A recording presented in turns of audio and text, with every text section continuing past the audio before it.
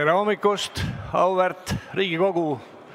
Meil on kõigil suur rõõm alustada täiskogu I istungjärgu 5. töönädala neljapäevast istungit.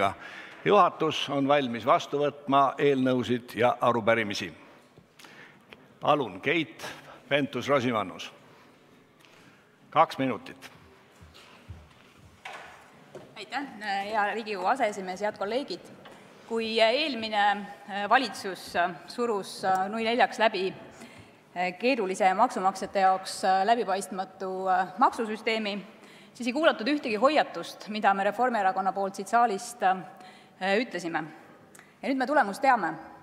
Üheks kõige rohkem kahju saanud osapooleks selle maksusüsteemi tulemusel on pensionit saavad inimesed, kes jätkavad töö tegemist, aga samamoodi ka toitjakaotuspensioni saajad. Kordategemist vajab loomulikult kogu see tuhandetest astmetest koosnev maksusüsteem, aga kuskilt tuleb alustada. Ja me alustame Reformierakonnaga esitades eelnõu, millega arvatakse kõik kuni keskmise vanaduspensioni suurused pensionid, sealjuures toitjakaotuspensionid, tulumaksuga maksustamise alt välja. See reegel peab kehtima kõigile ühtviisi, ka pensionäridele, kes jätkavad töö tegemist.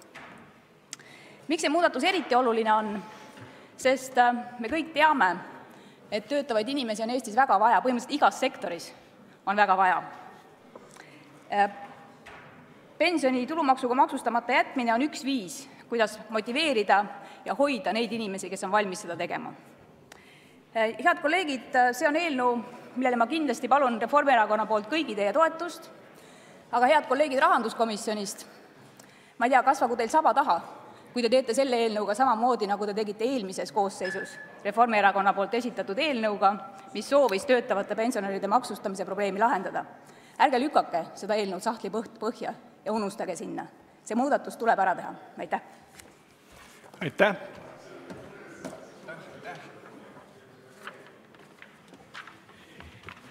Eelnõu läheb sellega tegelemiseks ette nähtud menetlusse.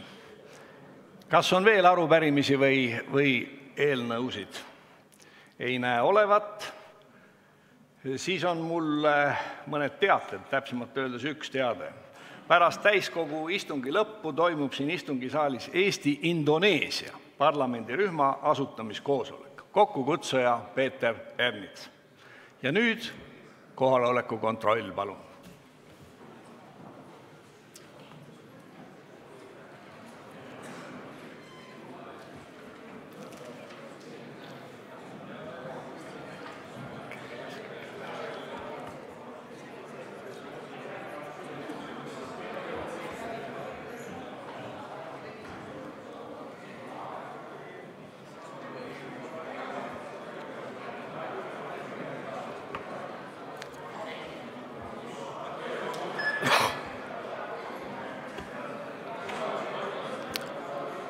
Nii, kohalolijaks registreerus 84 Riigikogu liiget, puudub 17.